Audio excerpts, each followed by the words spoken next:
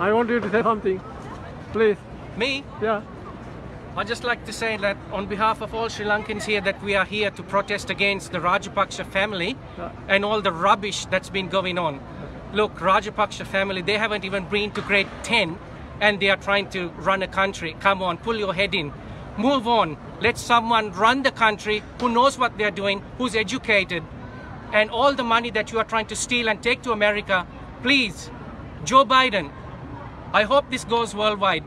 Please don't take this Rajapaksa family to America or to any other country around the world. Send them back to Sri Lanka. We will lock them up.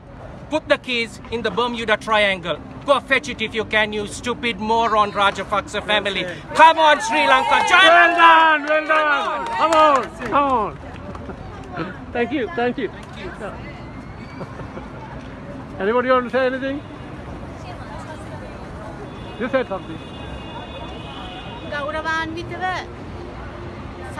ලාංඡන ඇඳපු රජයේ ඉන්න නිලධාරීන්ට මේ කියන්නේ. ගෝඨාභය රාජපක්ෂ මහත්තයා.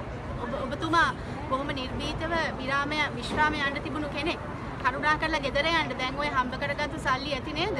බෞද්ධව හැටියට දන්නව ඇතිනේ? ඇති කියලා.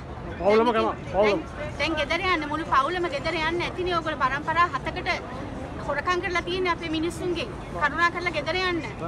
වෙලාව Hari then. Go home, go Go home. Go home.